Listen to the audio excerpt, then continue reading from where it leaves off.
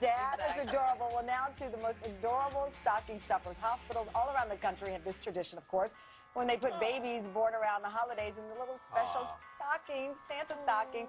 At California's Redlands Community Hospital, volunteers have been making the fleece keepsakes since 1930. Like that newborns can get even cuter. I love Right. I've never seen that. Isn't that cute? You that? That's a holiday card. Yeah. Just zoom in on your little one. Yep. Isn't that cute?